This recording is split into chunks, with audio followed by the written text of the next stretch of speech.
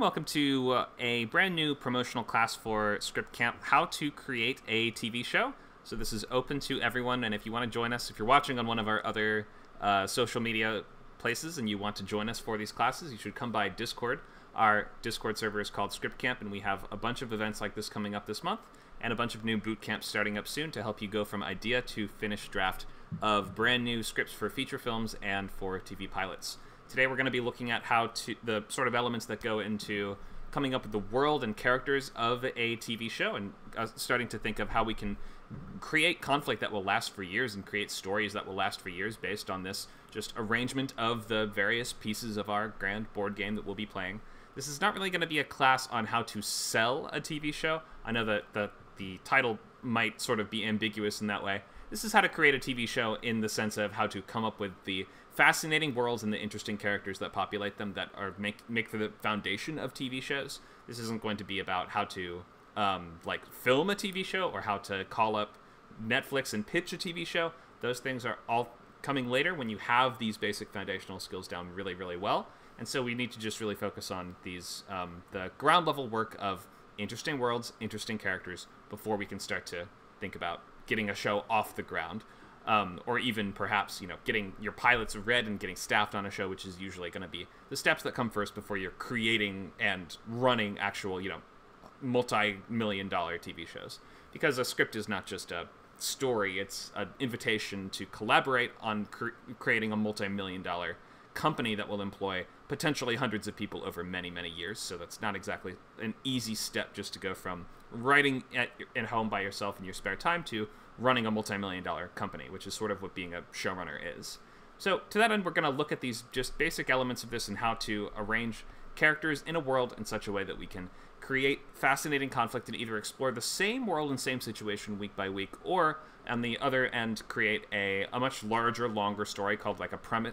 Usually, we're going to be calling these premise-based shows, something like you know your Lost or your um, Battlestar Galactica or, or, Breaking Bad or things like this that are like a much longer movie that takes a long time to explore chapter by chapter, as opposed to the status quo-based shows, something more like South Park or Family Guy, where we just re- revisit the same location and set up week by week. Um, so we'll look at both of those today. Um, make sure, if you're on Discord, so please just keep your microphone muted for the most part. You can find that on the left-hand side of your Discord window. You can see whoop, this here. This small gray icon, if that's up, that means your mic is muted. If you click it again, you will turn it off and thus disable your mic. Um, so if you could keep them muted for the most part, we'll have times for you to be able to speak out loud and volunteer and interact with the class. That's what Script Camp is all about. So um, but uh, yeah, wait wait until those moments where we do call upon you. So please keep your comments to the chat, the text chat for the most part. And if you're watching on one of our other uh, streaming places, then come by our, our Discord and you can hop right in the class with us. Um, okay, what is Script Camp? We're a screenwriting community that's focused on taking you from idea to completed draft. Um, and we have lots of free classes, events, and workshops like this one right now. And we have some classes for our supporting members such as boot camps, Writers Lab and Advanced Lab. We're adding new classes and new servers all the time in our sort of Skill Camp company. Um, Skill Camp is a nonprofit organization that's dedicated to bringing free and low cost classes to help you learn skills to reach your life goals. Script Camp is the first and biggest of all of our various servers on our network. Um, but we have coming up close, we have WordCamp at our second biggest, and that one is focused on novel writing. We currently are wrapping up on our first novel boot camp in that class where we've gone from page one to the final page. What do you call that? Go from idea to finished draft of a, of a book um, in 12 weeks. And we have various boot camp programs like that that will take you from just idea to completed version of something in a, a short time span, usually four to eight weeks for most things. So um, we have new classes coming soon for supporting members, so definitely come by these servers and say hi. Here's just a little about me. I've been I moved to LA in, in 2015. Have by now probably been writing full-length stories for about 11, 12 years. I got signed for the first time in 2017 and have been a Repton working writer since then, mostly specializing in horror thriller films and no, nowadays doing a lot of rewrites on smaller for smaller production companies and for writer directors on their horror thriller scripts. Um, I have a thriller script set up at a major production company in town. I've placed in Nicholls semifinals, uh, Launchpad top 10, um, and I teach the boot camps in the weekly writers lab. So, um, how to help Skill Camp? You can donate um, you can become a supporting member and get access to all boot camps and labs from $29 a month at our lowest rate. That's with the yearly discount, you'll be saving 40% on your um, yearly donation. You can volunteer if you know a skill or language you'd like to teach. You can contact myself or Nacho, and you can tell your friends. So you can refer to somebody, and you will both get a free month of the um, Pro subscription, um, or the unlimited subscription, plus a free month of Arc Studio Pro, which is a great screenwriting software. Here's some stuff coming up. We have this one. Um, this is uh, December 14th. This is we're going to be looking at some um, TV fundamentals today. We'll be looking at writing the first page of a script on Sunday the 18th at 11 a.m. These times are all in Pacific time.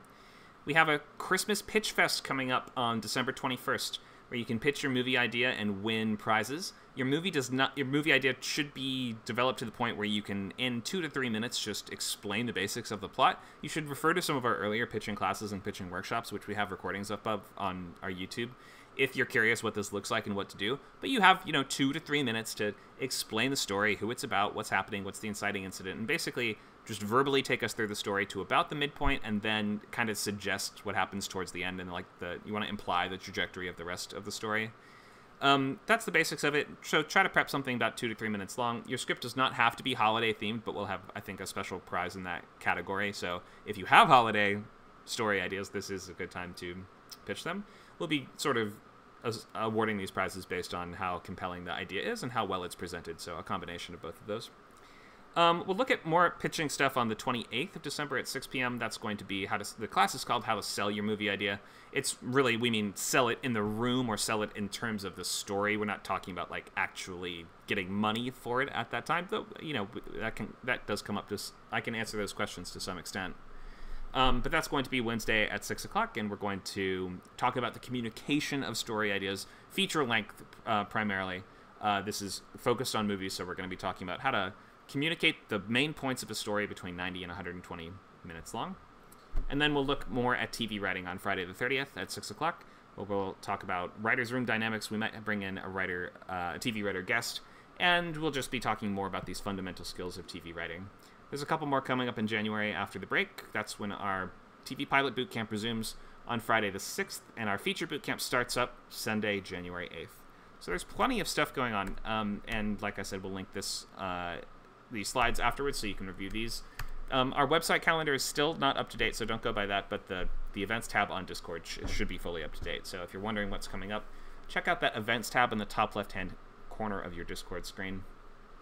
What are the boot camps? These are courses that take you from idea to first draft, or from rough draft to a more polished rewrite if you're bringing a rewrite to the class instead of a brand new idea. And using our step by step practical method in these two hour weekly classes, kind of like this one that you're in now, we go from idea all the way to a draft being done in eight weeks for the feature, six weeks for the pilot. And we've done classes in the past, such as four weeks for short film or four weeks for our pitching kind of uh, exercises. But um, every other boot camp will have its own length uh, nothing longer than 12 weeks so far. Our novel boot camp at 12 weeks is the longest one we've tried. But we have other boot camps on our other servers too, such as Animation, which is currently ongoing. Uh, where's the... I thought there'd be a slide for that up front. That's okay. There's probably one at the end. But um, yeah, we have weekly anim uh, boot camps in animation. And we have a coding boot camp coming up on Code Camp starting in the new year. So here's a preview of the TV Pilot Bootcamp schedule. This is not what this class is, but this is if you want to look ahead at what we'll be doing. We started with our week zero last week already, where we started on fundamentals of TV story design and log lines. A log line being the one sentence expression of the premise of your show, and there is going to be a different version of that for both the pilot and also the series. So you have two loglines total for a TV show. For the December 16th week one class, the student's assignment is to revise your loglines based on the early feedback you got in these classes. December 16th is when we resume. That's after the holidays. That's when you will be. Oh, sorry. That's actually this upcoming Friday. So we have one more class before the end of the year in TV. That's where there'll be final students will be finalizing series and pilot loglines and continuing to fill out the sketchbook, which is a really fundamental part of uh, the method that I sort of teach here, where we have this sketchbook document to gather all your ideas and notes and research and inspiration and links to pictures and videos and any other stuff that's just going to help you in your pre-writing process. Um, week two is outlining, so we're going to look at the broad strokes of the story, the major events that need to fall into place um, in the structure. Week three, we're going to look at expanding that outline into scene cards, which is a full paragraph for every single scene. Week four through six, that's actually we go to pages, which means you start writing and formatting those scenes in your screenwriting software and writing dialogue and actually blocking out the full scenes. We don't we don't do that until halfway through any boot camp. So that first half is really really focused on getting every scene in place and organizing your journey forward before you actually put pen to paper on the screenplay pages themselves. Week four is first act, week five is second act, week six is third act, with a first draft finished by February 10th.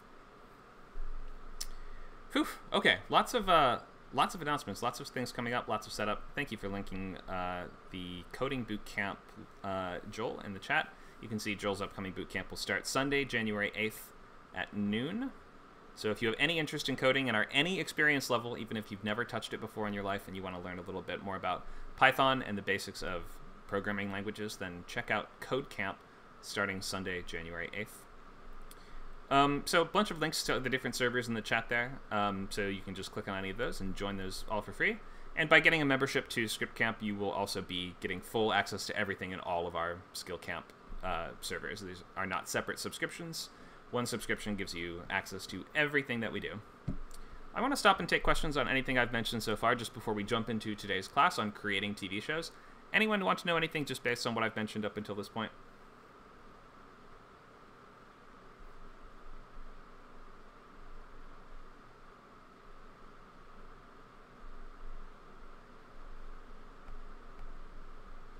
Okay, if not, then we will just go ahead. Let me check the stream people chat. Oh, here we go. Here, possibly a question.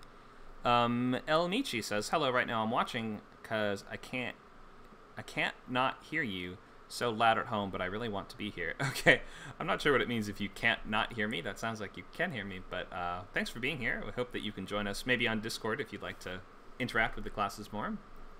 Um, and that goes to anyone also watching on YouTube or Twitch or things like this you can type questions in the chat there and we will be able to see them, but it just takes me a second to find it sometimes.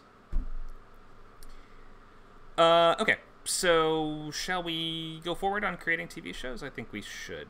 Um, so let's get started on this. Um, uh, oh, last thing, yeah, if you want to sign up, scriptcamp.net slash classes, and you can buy a course on its own. Uh, or you can go to scriptcamp.net slash membership, and you can sign up for that either monthly or yearly um, subscription, in which case you'll get uh, unlimited access to everything we do on all these servers at Script Camp. All these various great classes, over 70 hours or 80 hours, I think, at this point, of content every month. Um, and you will get that 40% discount by just buying a yearly plan rather than monthly. If you haven't enrolled yet, but you'd like to sign up on the website, we have a uh, poll that our co-founder Nacho will leave in the chat in just a moment, and you can use that to indicate that you intend to sign up. If you just click that number one in the chat right now in that poll that you see with the blue numbers, that will mean that we can give you instant access to our bootcamp channels. It doesn't obligate you to sign up, but this just, just indicates that you intend or plan to, and we can uh, get you started and, and get you into our exclusive bootcamp chatting areas and hopefully start giving you that extra feedback that'll help you get started before the class begins. Okay, um, so uh, let's go to, I think we are not going to start with this discussion just because we've had quite a bit of intro and setup, and I would prefer to probably just start going into the content of the course first, though we will have some times for the um, participants here to speak up and give suggestions and all kinds of fun stuff. Okay, so um, bef before we go any further, um, let's just look at some of these very fundamental basic things here. So in the US, TV shows are written by staffs, but they still are usually going to be created by one single person. That's like the person that writes the pilot that kicks the whole thing off. And this pilot, you're going to want to work on this with your manager for quite a while until you're ready to go out with it. And once it actually starts to get interest somewhere, this is like the reason we don't write additional episodes is because you're going to have to go through development with that pilot, meaning that the people that are interested in potentially buying and developing that show are going to want to change things with you and like put their own sort of hands on it and modify it and give you lots of notes and feedback based on just the pilot and what we call a Bible. A Bible being a sort of usually like 10 to 25 ish page, sometimes shorter, sometimes longer, but depending on the complexity of the show. But it's a document that just kind of lays out everything that we'll be working on today, such as locations, um, the rules of the world, the tone of the world, the characters, really, really, really f- fleshing out and focusing on the characters that populate this world. So that document, that Bible, and that pilot episode are the really the only things that you need to write. You never need to write additional episodes, and in fact, you will end up having to throw away almost all that work, assuming a show ever goes forward, because they're going to want to do so much development based on the pilot that you might as well just not write any other episodes. Um, so you don't even really need to write be writing Bibles until you have fantastic skills in writing pilots. Like you're not even going to really need that Bible until a pilot starts to really get a lot of attention. Then people might say, okay, let's take a look at that Bible. Um, meaning that you can just always put it off until later. You know, a couple years down the line, if you're just starting out, then you're going to want to, or I should say, you're going to want to work on your skills in writing pilots, features, and just other kind of scripted stories for a long time before you're ready to go out and start making Bibles and pitching shows and stuff. So just really focus on these fundamentals first, and you should look at this as going to the gym and running laps for several years, which is sort of how we describe what Script Camp is. We're not really trying to help you dig for gold to find that perfect script um, that will get sold and get you money and achieve all your dreams. We're trying to reframe your thinking into looking at this more like a gym that you go to to start running laps because this takes a, this is a big uphill climb and takes a, a lot of effort and it's a long journey and we really should approach this as the act of getting better for several years before we start to uh, reach beyond our grasp, I should say. So we're going to be looking today at writing the or putting together something that resembles a series Bible, and this is something that you should have in mind and maybe work on like a mini version of this for yourself as you're writing pilots, just to improve at writing pilots. Um, but you don't really have to write full publishable, super readable, awesome, intriguing Bibles for your shows until you're really far, really far along down the line. I've only done this once, and that's when a director was attached to the show. So at that point, they asked for the Bible. Um, but up until then, you, are if your pilots aren't compelling, no one's going to want to read all this anyway. So we're going to look at making just the version of this that you're going to use for yourself. Um, and you're going to use to help kind of figure out, hey, what's going to happen in your pilot? Because in some, if you're coming at this from the perspective of world and character first, then sometimes multiple different storylines for the pilot episode might present themselves to you and might seem like, oh, the story could start in several different places. Or if it's a status quo sort of based show, like a, like a lot of cartoons or a lot of sitcoms, you could kind of just write many very completely different storylines to for us to get involved in this world. If we're just sort of being dropped in the world of the characters, like in something like I don't know, The Simpsons, then we don't really need to. Um, there's not one thing that needs to fall into place in order to get that sh- get the machinery of the show off the ground and to activate what we might call this the show's story engine. Um, so we should talk. I wish I had a slide on it, but we should definitely talk story engines because that's another sort of one of these you know TV writing basics. What is a story engine? Well, a story engine, there's not one, it's not comprised of just one thing, but it's a combination of different factors. It's sort of like, we would refer to it as like the machinery of your plot that keeps generating stories using the kind of the fuel that you put into it, being the relationships and dynamics at play. So it's like a combination of all the factors that are going to allow stories to keep being generated in your world for many years to come. Because TV shows, a strong enough story engine will feel like it can sustain stories for years. Um, TV shows go on for years, and theoretically unlimited years in some cases, with the exception being these limited series are the more sort of modern style of longer limited series that have a very defined plot up until recently, that was not really the standard for how TV was done, and you'd want to create situations and setups and dynamics between characters that can persist for many years. And although they will evolve over time, these kind of foundational pieces are arranged in such a way that we we can see how that's going to create conflict forever. So let me keep, throw a really really simple story engine at you. Who anybody watch uh, Courage the Cowardly Dog, the cartoon from when I was a kid? I hope somebody yes. Has. Go ahead. Yes, I said. Oh, yes, you've seen it. Okay, great. So, the story engine for Courage. Who are the main characters in Courage? Courage is the main character. Uh huh. Yep. And Who his else? owners, Eustace and Muriel. Yep. That's it. That's the main cast right there. Isn't that so simple? It's great. There's a dog. He's owned by an old lady. That's his, uh, you know, really benevolent, lovely, uh, kind, kind little owner and her horrible, mean husband. They live in the middle of a town called Nowhere that seems to be somewhere in the kind of haunted Midwest of the U.S.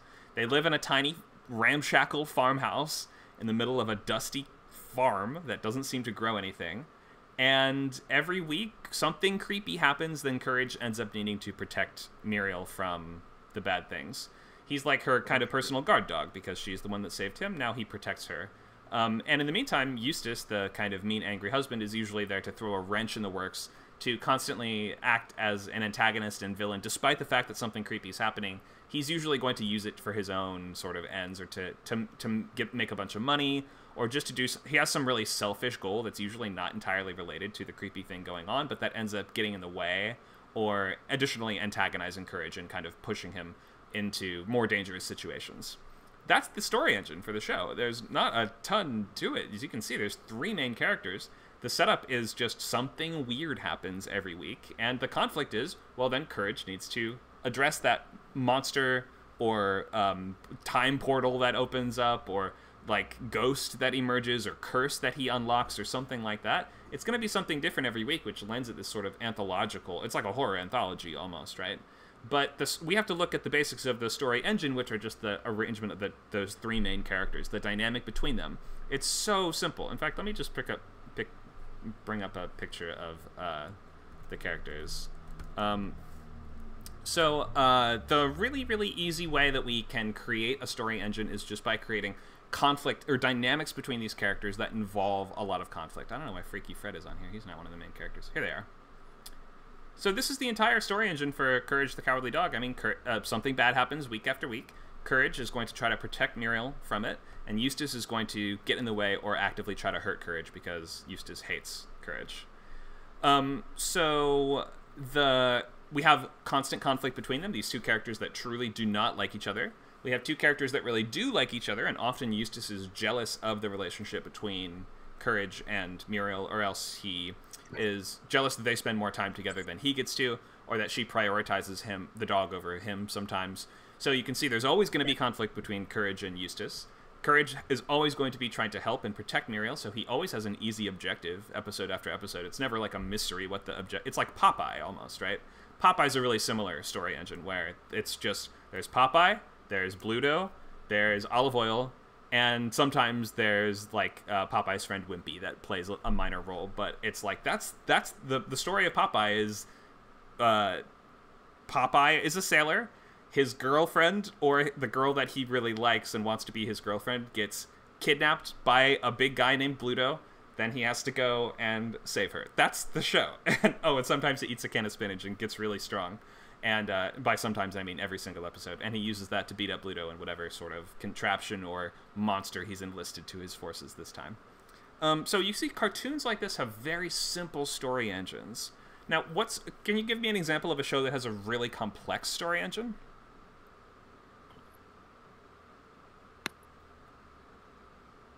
Sopranos. Okay, Morgana, how would you define what's the story engine in Sopranos? What's what's what are those elements that are creating conflict throughout the years of the show? Uh, um, I would say it is the the main thing is the conflict between Tony's professional life and his family life, and then you have the side stories, all of that.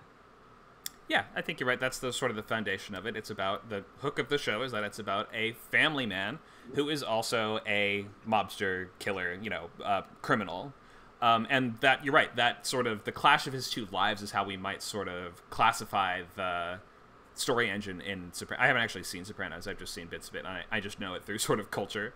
Um, but you're right. That is the story engine there. But there's and and we can sort of blow that up much bigger too because there's well a lot of characters in it there's more. The main character is very layered and has way more dimensions than Courage the Cowardly Dog does. So you're right. That is a much more complex story engine in terms of the main character and his relationship to ther- his therapist and therapy, which I believe is a big uh, sort of recurring um, story element for the main character. He's trying to like cent- learn who he is as a person and maybe become a little better as a person, but at the same time has to do worse and worse things to succeed in crime but at the same time is trying to balance his relationship to his wife and his children and people who don't know that he's a criminal. There's a lot of relationships there and a lot of dynamics that can create a lot of conflict. What's another show that has a really complex story engine? Breaking Bad and Better Call Saul. Breaking Bad and Better Call Saul. Okay. Um. Yeah, I would say. I would say any show that has that isn't like that has like a continuous storyline has a more complex story engine. Yeah, usually that is the case because sometimes season by season the story engine might be slightly different, or like the machinery of it will adjust over time. Because much longer premise-based shows sometimes ev- they just they just by definition evolve. They have to evolve. Um, they're more about gradual change than features are, but they are still about change over time.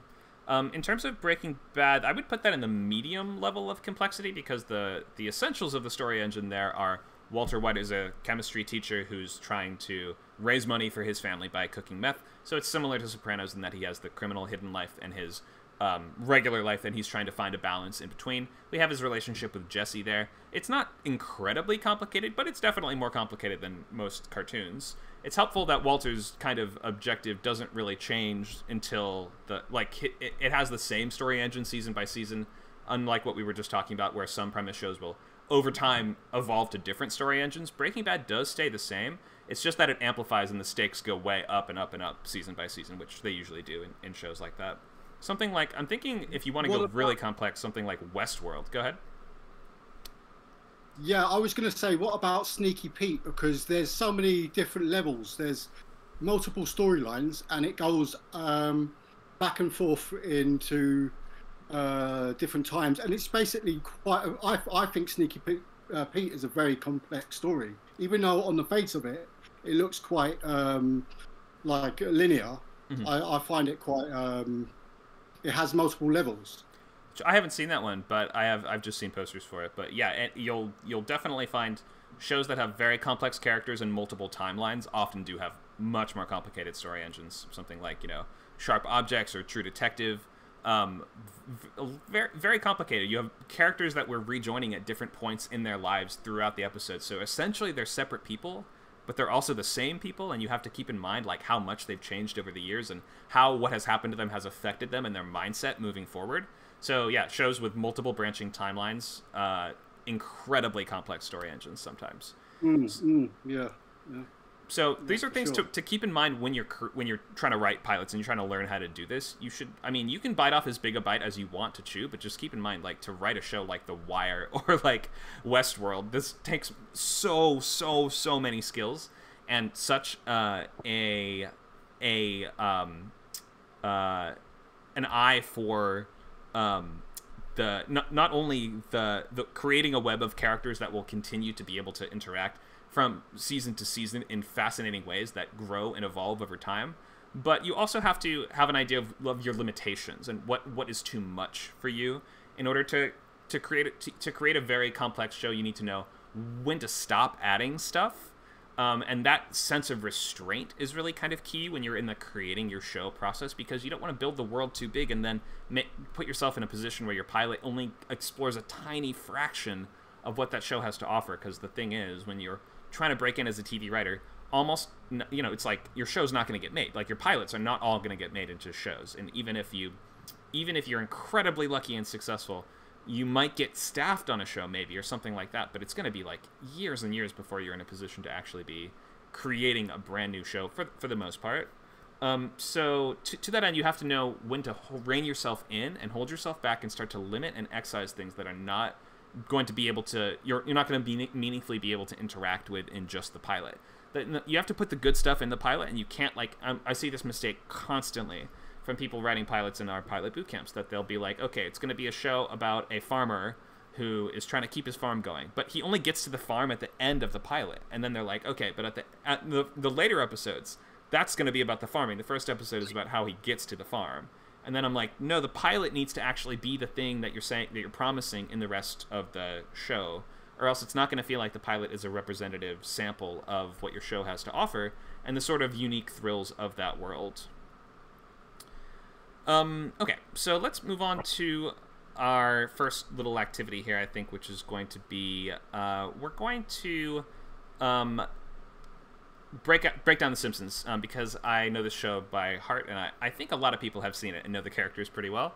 So, strong TV ideas emphasize interesting worlds and the rich characters that populate them. So, we're going to list out the most important characters, locations in Springfield, which is the setting for our show, and we're going to add in a couple points of interest under each of these locations and think of how well, you can use your, your memory of episodes that you've seen to think of what are some points of interest in some of these places if you need but also just be thinking like maybe what in future episodes could we do with those things?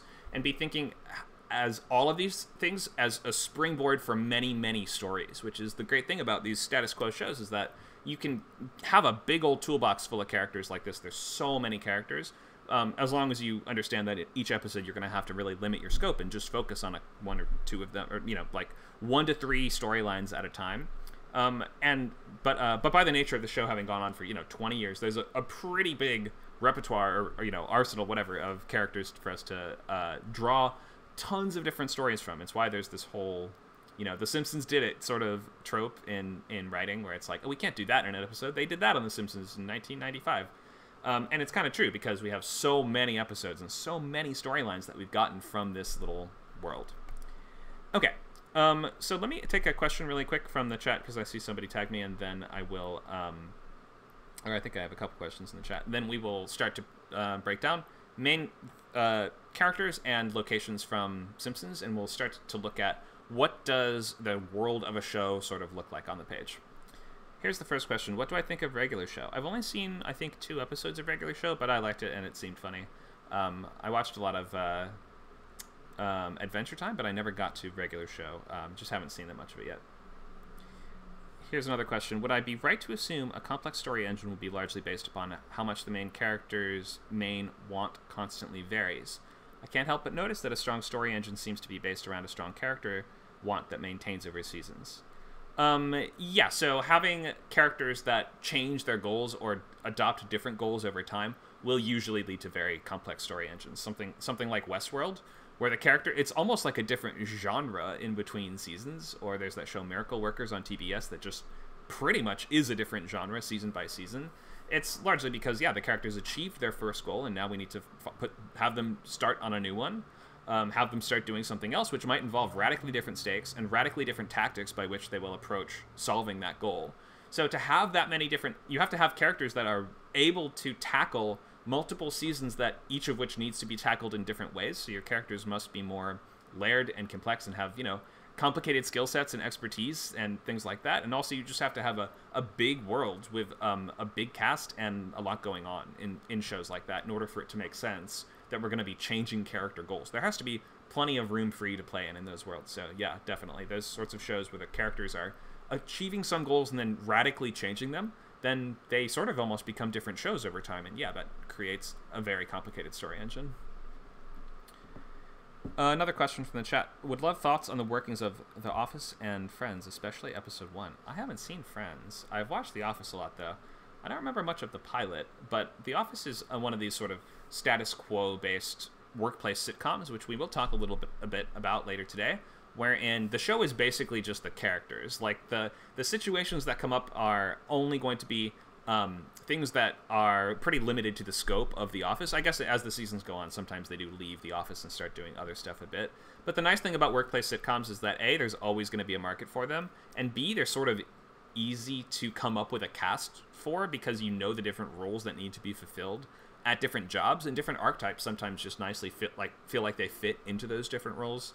So for instance, having the main character be a bumbling boss just makes a lot of sense for a uh, I guess we should say Jim is sort of the protagonist.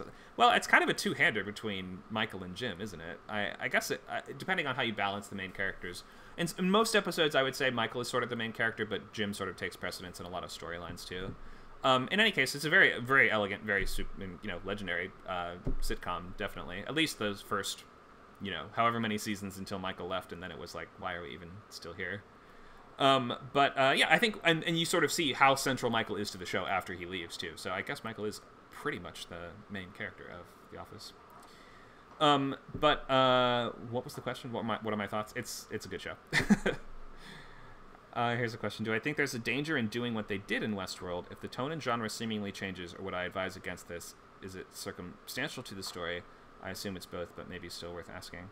So um, there's definitely danger in drastically changing the premise of your show after a season or two seasons or something. But um, until you're a high-level showrunner, that's not ever going to be a possibility. So we don't really have to worry about these things. Um, I would say drastically changing your premise within an episode is definitely a problem. Yeah, so trying to try to keep that first episode like oh I think is someone talking or is that my own mic that I'm hearing feedback from? Thanks. If everyone could just make sure that your mics are muted, I think I was hearing my own voice for a moment. Um, but uh, yeah, so keep your keep your pilot for, for the most part setting up one premise, like the premise that the at least the first season is going to revolve around. Paul says American Horror Story is cool, different story every season. Yeah, that, that's anthology format. That's a little bit di- um, different than traditional show, but yeah, it's it's pretty cool. I like that as well. Fargo is similar, but Fargo is different. Um, it's not.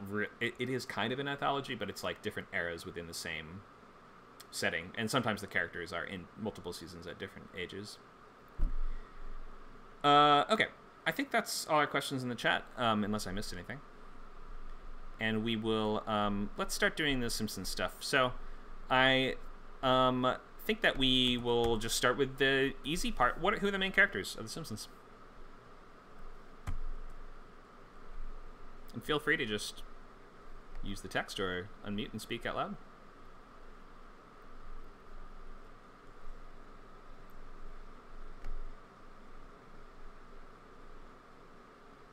Homer, Marge, Bart, and Lisa. Thanks, Morgana. Okay, so Homer, Marge, Bart, Lisa, and I'm gonna put Maggie.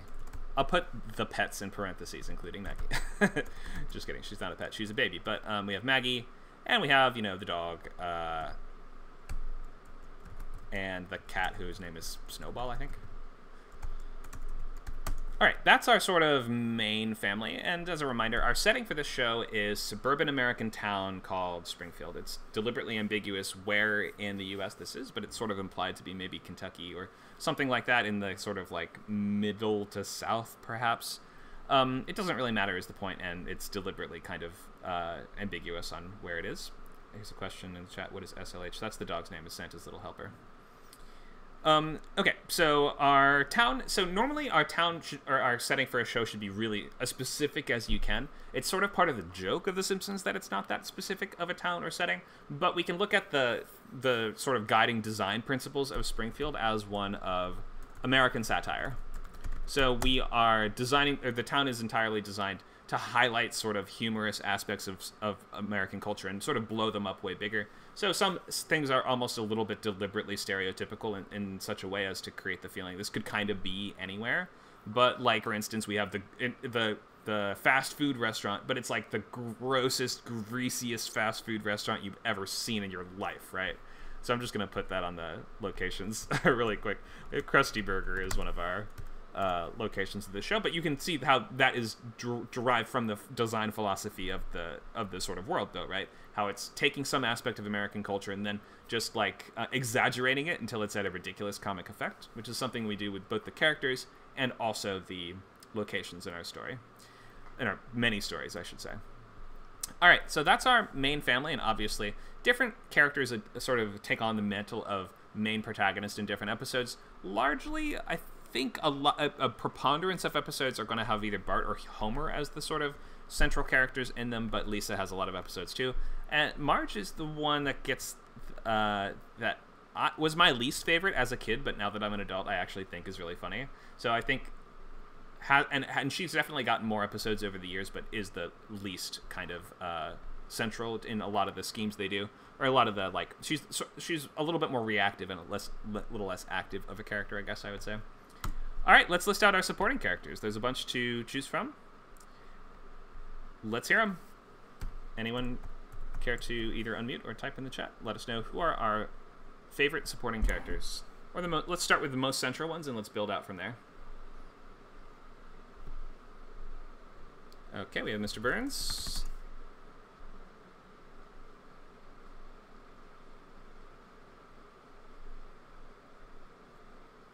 His co-workers, I don't remember their names. You mean Homer's coworkers, Lenny and Carl? Yeah, Lenny and Carl. Yeah. Okay. Who else we got? Dan says Flanders. Apu.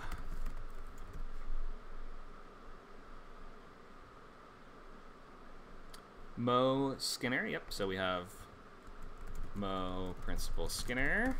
Keep going. Let's get like five more on there, then we'll start to organize them. because there's a lot to choose from. We have Barney.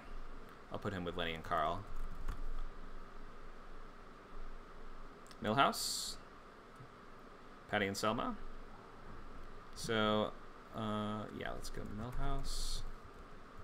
Patty and Selma basically the same character, so we'll just put them together. All right, let's get one more. Groundskeeper Willie. Oh, Smithers. Thank you, Nacho. All right, so we have Willie and Smithers. Okay, so we've even we've barely scratched the surface. There's way more characters than this. We could get into your Disco Stew and your your your what's his name, your Bumblebee guy, and all these other kind of weird side characters at the same time. But I think we have assembled pretty much the the greatest hits here. Um, so let's start to group these characters and organize them a little bit in terms of their importance and their roles within these stories, right? So we're going to want to put Smithers and Mr. Burns together. And we're going to want to keep Lenny, Carl, and Barney together, and I'm going to put Moe with them too because Moe is the bartender where they all hang out. We're going to have a Pooh, Principal Skinner, and I'm going to put Miss Krabappel on here.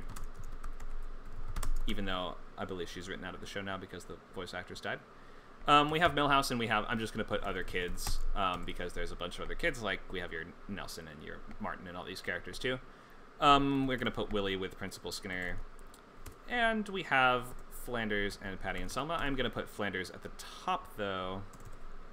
Why am I putting him at the top? Because he's the main character's neighbor, and we're starting small and we're building out from there. Okay. So the ways that you might kind of organize these characters are by the different, either attaching them to different primary characters, in which case we could either say, um, in Homer stories, they are largely going to revolve around the areas that Homer spends the most of his time, which are going to be at work or relaxing, right? And so the sort of we could organize them in terms of the Homer story characters are going to be Flanders, Mr. Burns, Smithers, Moe, Lenny, Carl, and Barney, right? And then, of course, the other main characters in his family, but we're just trying to think of the many, many sort of stories that are going to result from having how many? 500 plus episodes in the uh, series. Oh, we have somebody mentioned Grandpa Simpson as well. I'm going to put him on the list too. Um, so, yeah, Grandpa. I think his name is Abe. Um, okay, so um, we can group them by character. We can say, like, these are all going to be the sort of Homer characters and then you would organize the other characters by their relation to those other people too. So we might say like the kind of Bart characters, the ones that he's going to be most bouncing off of and are going to be most involved in his conflicts are going to be you know Milhouse, Nelson, Martin, Ralph, people like that. And then we have maybe your sort of um, your Marge characters, which would be you know Patty and Selma, the teachers at the school because or, or the you know she's going to be she's Bart's parent, so he's going to take go in for parent teacher conferences and stuff like that. Um, I'm not really sure if Marge has any super close friends in town, except for maybe Maud Flanders. But um, so you can group them by character, like this is the point, or we can. I think it might be useful also to group them under the locations that are going to be really relevant for those people sometimes too. So now that we have these sort of arrangements of characters, we can already start to see how the um, different uh, how we can create different storylines just from combining them in different ways, right? Because a lot of the time your A story is going to be a main character from the Simpsons crew plus a supporting character and some conflict either featuring the both of them working together against that thing or the two of them going head to head on some kind of conflict, right? So if it's like Bart is getting bad grades, then our A story is going to involve Bart, a main character, and a supporting character, Principal Skinner or Miss Krabappel or someone like that. So you can see how we can, if you're just trying to write a show that has a lot of possibilities for subplots, B and C stories and just like a, it's a big arena for tons of things to happen in this world, then you're going to want a diffuse spread of characters that feel like they relate to the different um, uh, members of your main cast, right? So you're going to want to be able to think of, oh, okay, these are three to five stories I could do with just Marge and the people in her sort of circles. And then also be thinking, like, sometimes what would be an interesting curveball we could throw in, too, because what would a Marge and a Groundskeeper Willie storyline look like together? I'm, I'm, sure they've done that. They've done every, I'm, I'm sure they've done every permutation of combinations of characters at this point.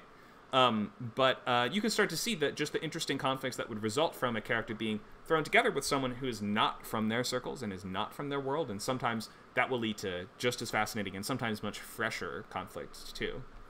So let's start to think of the locations. So what are some of the most important locations in Simpsons?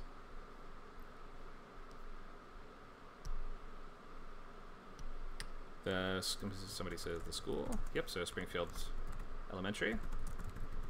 I don't know if we ever really see their high schools, do we? Uh, power plants and the house. Yep.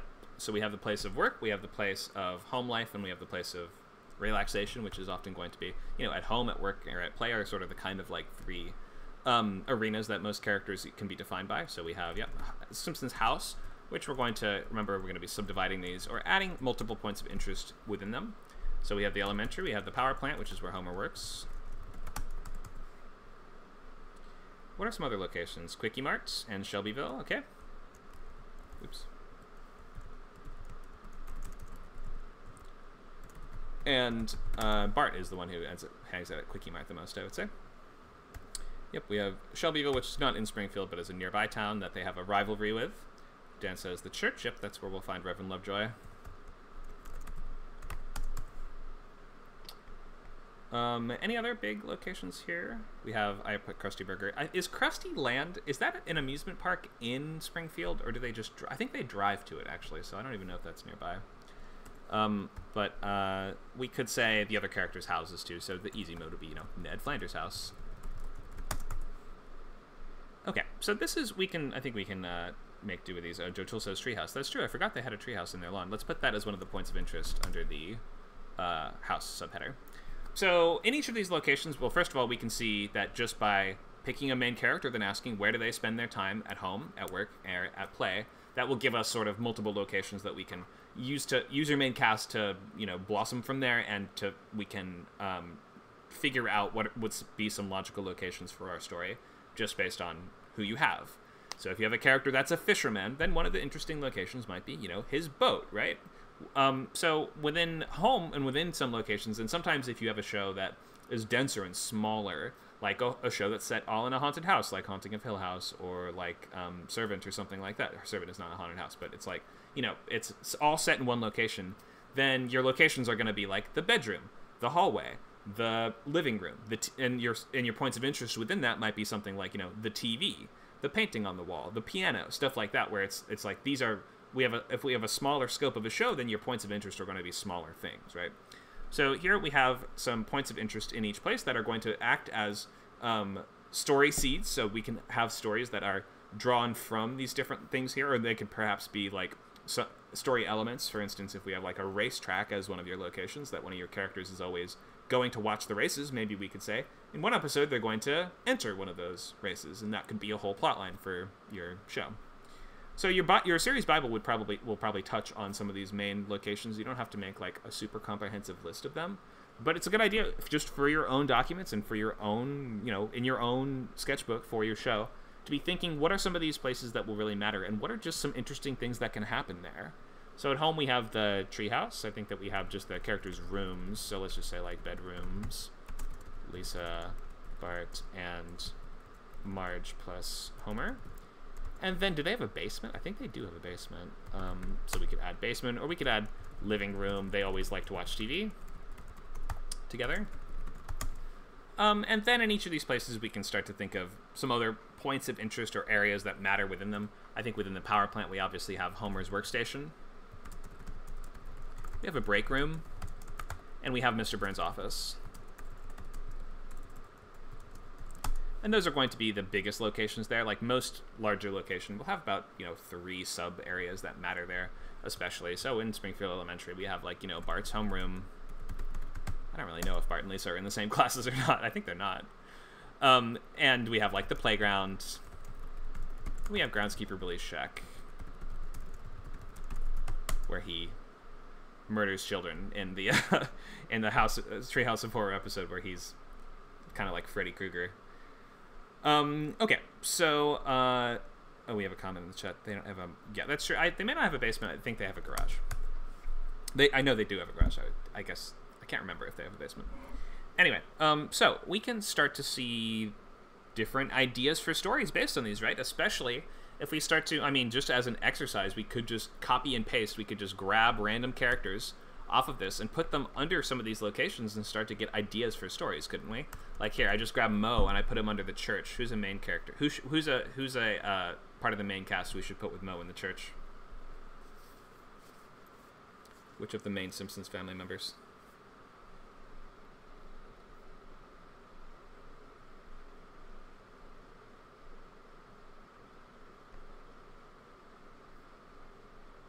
Or I could just pick one. Okay, I'll just pick one.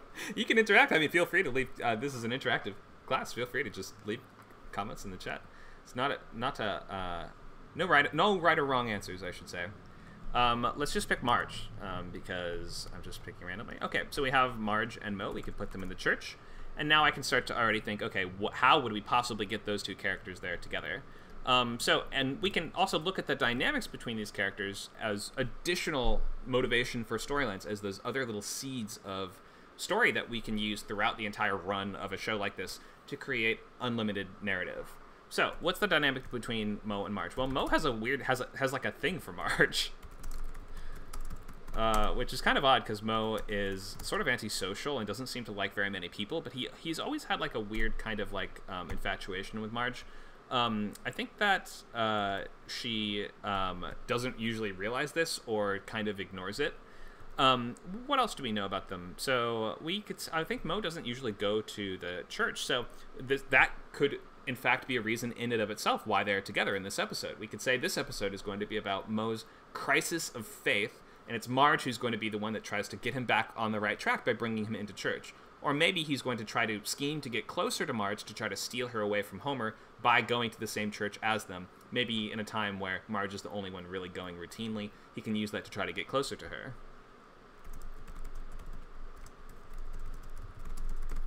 So I'm just this is just like an example of how you would use these elements here and just stick them together to start coming up with interesting stories because it forces you to justify how those dissimilar or diffuse elements could possibly come together in a rational, coherent way. So I hope it makes sense why just writing out these um, like a big list of your characters and locations can be really helpful for generating story concepts, which again if you're writing a pilot that could have multiple entry points, you might need to do before you really find what is the proper way to start this show.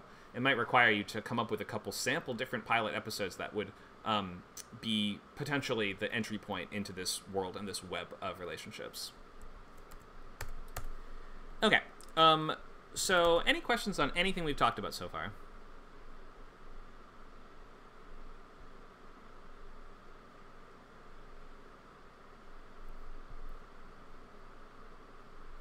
Or let me check to see if I've missed a name.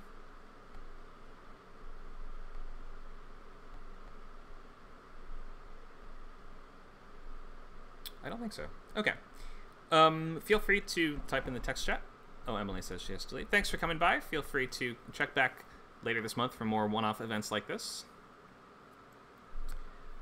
Um, let's uh, maybe move into the next part of this, which is going to be well. I hope that this has at least been somewhat illustrative of how these shows are going to look on paper when we're just in the planning stages of them. Because obviously, there's way more that you need to do to flesh out each of these characters, and we're only able to do so in quick bullet points because this is, this is a 25 year old show, and we know them. Like, just the pop culture of this is really widespread, and, and we don't need to define who Homer Simpson is for uh, our purposes here, do we? Um, obviously, when you're writing out your own show concepts and developing the premise in your sketchbook, you're going to want to go much deeper, at least a few paragraphs into each, or like at least one solid paragraph, I should say, at least into each of your major characters. Um, probably a couple paragraphs on the tone of the show and of the the rules of the world or of the sci-fi or the fantasy elements, if there are any. Things like this. And then when you start to go through the character breakdowns, mentioning these crossover points and these like points of conflict between them, like you know, Moe has a thing for Marge, she doesn't realize it. Um, Homer hates Flanders from the bottom of his soul, but Flanders um, seems to only like Homer more the more that he hates him. Um, these things that are going to come up again and again throughout the show might be worth delineating in those character breakdowns in your actual um, your Bible type documents if you have anything like that.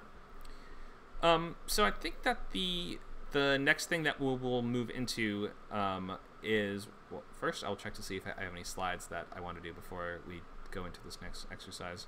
Oh, here I do have a slide about Story Engine. Let's talk just briefly about Story Engine, just make sure that we all understand what this is. So this is that central conflict or those elements of conflict in your show that will sustain many episodes of a theoretical series. So the story engine is not something that you need to write out in words. It's something that should be apparent and clear that it is there.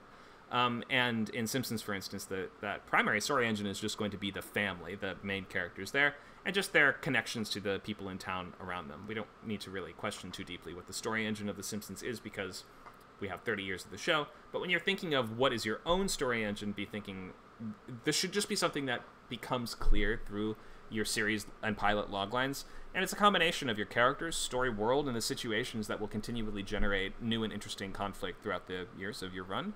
And a strong story engine will suggest hundreds, potentially hundreds of hours of television. Obviously, a limited series will be more like 8 to 20 episodes of television, but depending on the scale of what you're presenting here. Um, we don't need to define spec, I don't think. Um, we don't need to go into getting staffed. Uh, oh, my headphone batteries are kind of low. I think it just told me I'll need to swap them out soon. Um, so this is what a logline looks like. We're not actually going to be doing logline stuff today um, because I wanted to take the focus off of premise a little bit and how to come up with a good premise and more on once you have a premise, how do you start to populate that world with interesting locations and story elements and characters. But you should at least look at what the logline of a show looks like because this might help you if you're newer at this and aren't aware of just this kind of ground level basic thing that is required to make a show, which is a sense of focus and small like a, a, presentation of the idea in such a small in a small enough package that anyone can kind of understand it and get what the show is about which means that it's just one sentence whenever you can. We have one sentence for that sto- the series which sort of expresses the kinds of conflicts that are going to be coming up again and again in the entire series for a series logline that's going to look a bit like this um, we have both the status quo and premise based shows here at ozark is a fast talking financial advisor drags his family from chicago to the missouri ozarks where he must launder $500 million in five years to appease a drug boss. Um, so we get the idea of, okay, that's going to take a couple years to accomplish. That's like a larger goal that we're going to watch the first chapter of in the pilot, but that's going to take a long time to accomplish. That's why it's important to mention the time frame there in five years, right? So if you're doing a premise-based show, you should try to make it clear what the run and scope of this will actually be, if it, you know, with a limited run. We have a status quo show below it, Blackish, which is a sitcom a black family man struggles to gain a sense of cultural identity while raising his kids in a predominantly white, upper middle class neighborhood. So, in this case here, notice how the specifics of that conflict are so much less concrete, right? Or just that the, the conflict is he struggles to gain a sense of cultural identity. That's not really a goalpost as much as it is a description of many different. It's like a description of a type of conflict, and that's the sort of situation that the show will revolve around. And sitcoms often are going to work best with this kind of describing the type of conflict, not like the specific goalpost. Whereas premise shows usually need a more concrete goalpost where we're like, okay, $500 million in five years. And then the show is over. We've accomplished the sort of main crux of the action. And usually we can conceive of it like a movie in the sense that this is going to be the most important events of your main characters' lives. For the most part. There's exceptions to that, like, I don't know, Seinfeld or something like that. But oh, but that's not a premise show. I, I guess in, in for premise shows, it should usually feel like this is the most important events of your at least main character's life. Same with movies. Like with a movie, usually if it's not the most important events of your character's life thus far, then you've miscalibrated the stakes in the first place. Any questions on loglines and just these one sentence expressions of these ideas?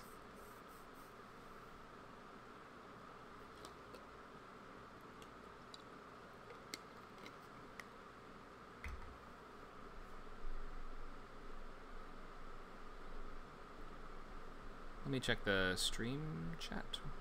Where did I, where is it?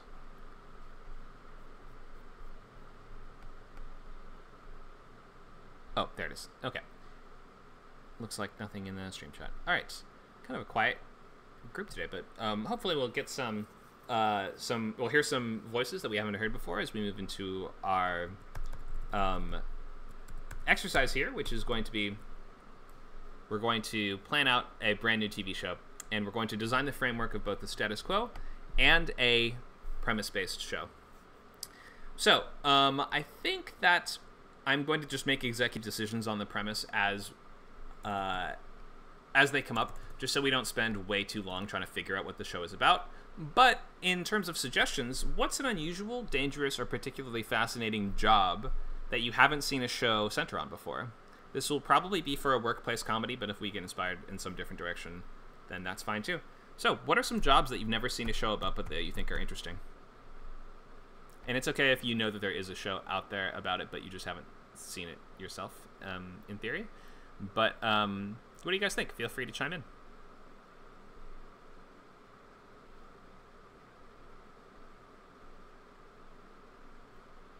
Nacho says translator. Okay. Keep going.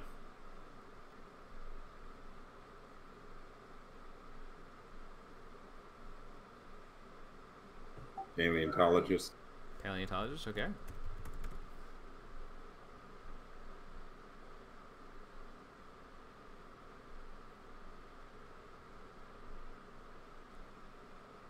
Yoga instructor says Joshua. Thank you. Let's keep going. Let's list a couple more. Gambler says Morgana. That's not a job, but I'll I'll list it anyway. Why can I not write the word gambler? There we go.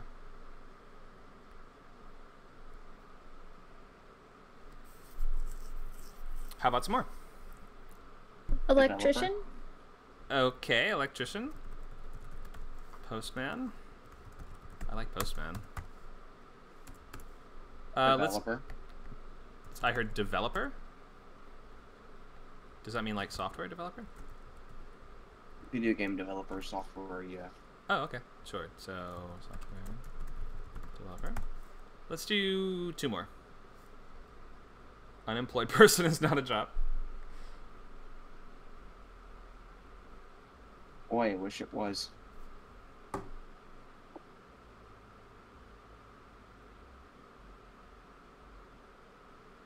All right, we got a couple more on here. We have liaison officer. I'm not exactly sure what that even is. Skyscraper window cleaner and urologist. All right. Window cleaner.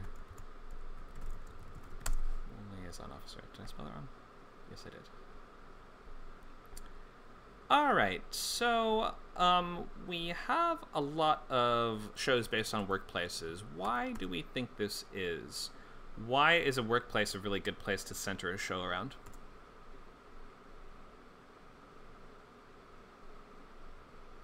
I think in an office setting, you can do a lot of interesting characters, like, and it's one place. I'm thinking of The Office, Larry Sanders Show, Parks and Recreation. So, And, and by and office, people can you, you mean yeah. by office you mean just any workplace, right? Because it doesn't have to be in an office itself. You, you would just mean Yeah, it's a, a place of business. Okay. So yeah, it's one location, so it keeps your so the effect of that is what it keeps your cast centralized. Yeah. Okay, what else? There's daily challenges.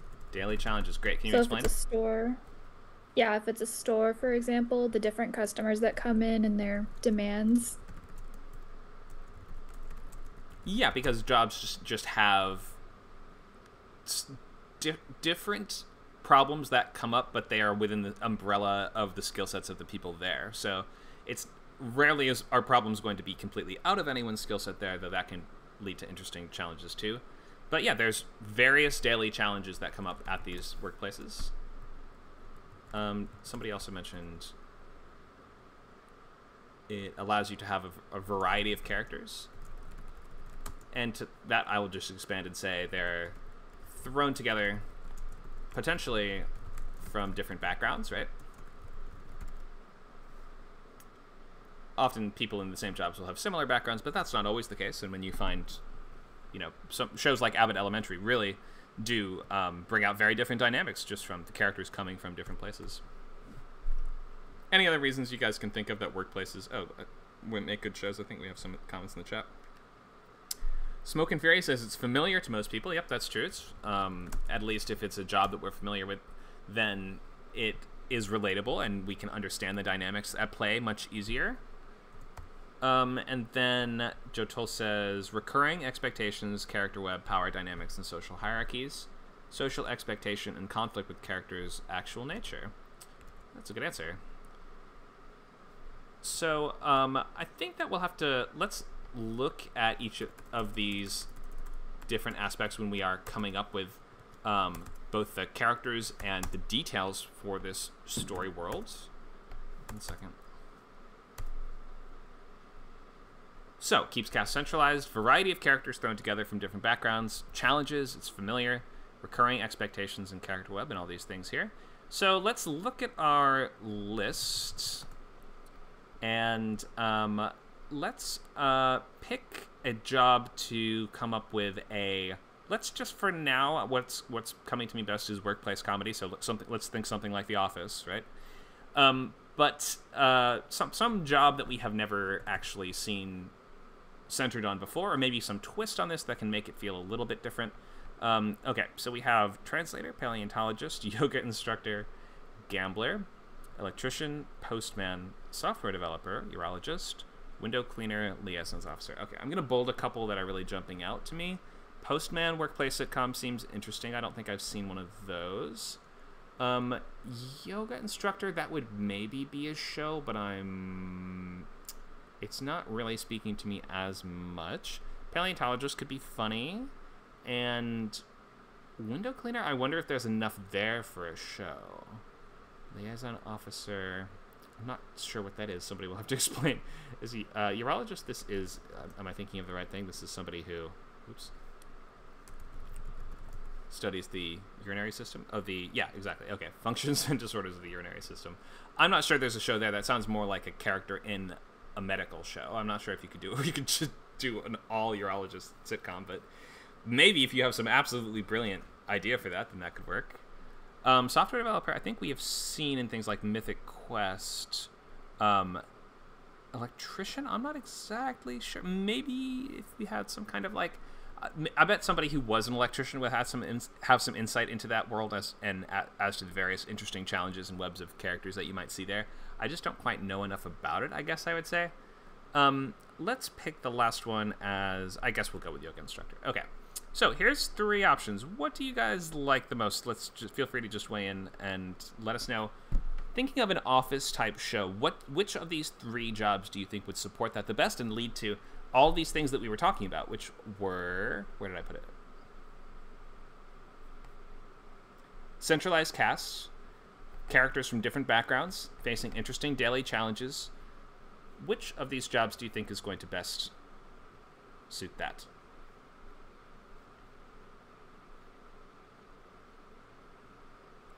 I think Postman, Postman? Okay. Yeah. Why do you think? Uh, it reminds me. It, I can see like this is an older show, um, but it reminds me if you could do something like Taxi, which was from the late '70s. Just like they hang out, and you know also like Newman, like the when you see like him at the post office in Seinfeld, I thought that was funny, where like um, it's a bureaucracy, a government bureaucracy, and like it, it, you, you'd have to remember Seinfeld, like to the episode where Kramer wants to cancel his mail, and it's funny stuff. Okay, so potential to make fun of the kind of absurd, absurd bureaucracy of the government. Yeah, Um, I can, I imagine they probably come from pretty distinct backgrounds for the characters there. Uh, yeah, I think I like the Postman one as well, unless somebody has a really strong case for one of the other ones. Dan says paleontologist because you go all over on digs to every corner of the earth. That's true. I could maybe see a paleontologist one as well. Um, for the, for for my purposes, for paleontologists, I start thinking more sci-fi, horror, or fantasy kind of jobs, just because it seems likely that those characters would stumble on, you know, your Stargate or your dinosaurs or things like that. But I'm sure you could also do a office style sitcom about paleontologists. Um, here's somebody. Okay, they've explained. Liaison officers just communicate between stakeholders like olden day messengers, but generally for improved customer experience. Okay, interesting. I would like to see that show from somebody who knows about that world. As someone who has no idea about that, I don't think I'd be able to do that, but could be um, could be fascinating stuff. Morgana says Postman's also more working class. Yep, that's true. They have a working class element. I would think the only thing really working against this idea is that postmen don't usually do. Aren't they driving around by themselves usually? Don't they work alone?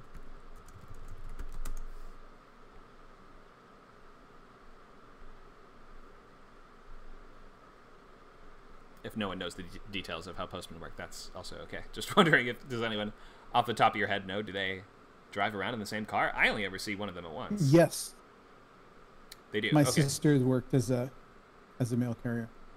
Oh, really? Okay, great. And so they're alone in that car. Um, do they ever meet up with their? Do they like go back to the post office and hang out together?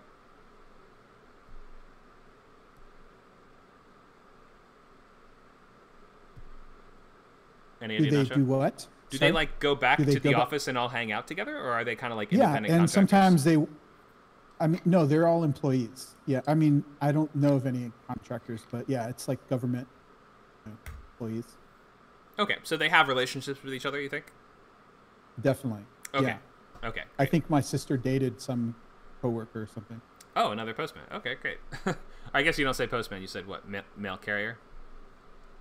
Um, yeah, yeah, and they have you know supervisors, and they have all this kind of the people who, you know, sort the mail and Ooh. all kinds okay. of drama.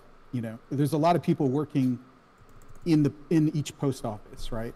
And you get different routes, like a different, you know, like there may be a few post offices in a certain area, and like everybody wants to work at like a certain one of them. You know, like Mhm. imagine like you have a franchise of whatever subways. A franchise of subways. Wait, in what? It wait. They're delivering between different subways, or what do you mean exactly? No, I mean like a a company that has um like lots of different branches and maybe the employees like one branch is like you know a better place to work than the other branch. Oh, oh, oh! Right, I see what you mean. Okay, yeah. So Yeah. you're, you're saying the post offices are kind of like a franchise where there's mm-hmm. some desire, some more and some less desirable. Yeah. And it's really hot, man. I mean, they have no AC in those things. And like the summer, she would like, you know, bring big things of, you know, she would just freeze bottles of water, like have lots and lots of ice because they drink a lot of water, like, you know, during their route. Dang. I'm sure they do It's hot, summer. man. Yeah, no kidding. Yeah. Was in Arizona. So we're already starting to see some of the elements of a story engine here. I think one of them being that the post office, as a government sort of service, is going to be notoriously underfunded, right? And so that's going to lead to all kinds of conflicts. So let's actually start assembling a just like elements of a story engine. Underfunded uh, office leads to what kind of conflicts? Well, stuff breaks. Um, we not are understaffed. Um, we uh, might need to bring in emergency or like you have to um, if you don't have enough staff they might have they might end up sort of hiring anybody right? They'll take anyone who comes in. Different kinds of conflicts might result from that. I could see lots of those. We have some more desirable some less desirable routes so perhaps we could say competition between the different drivers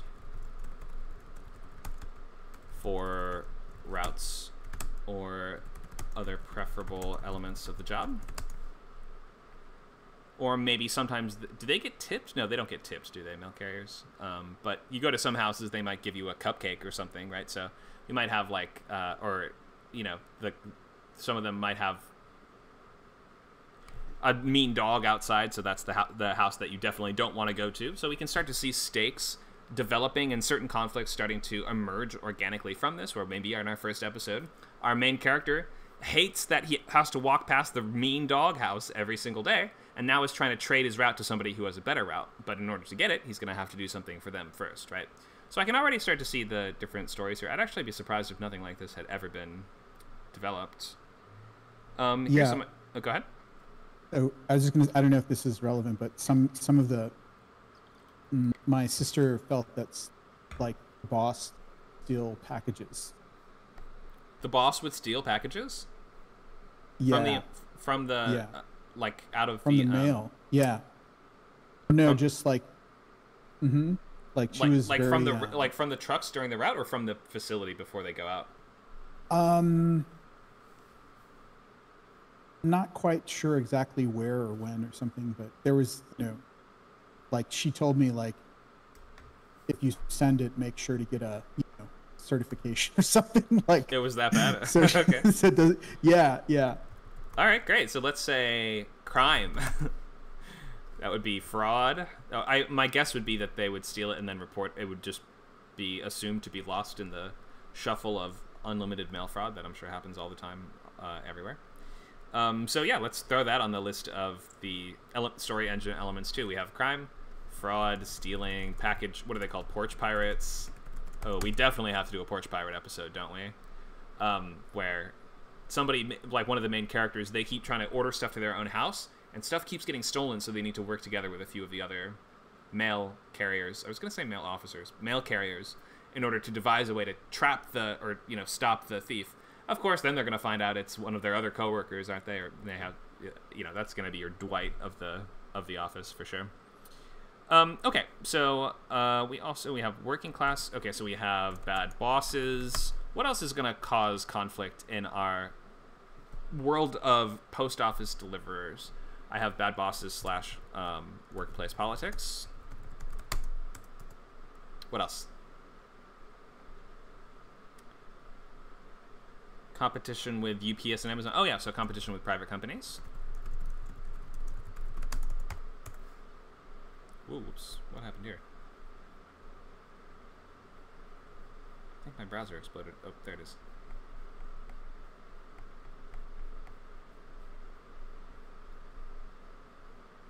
Uh, here we go.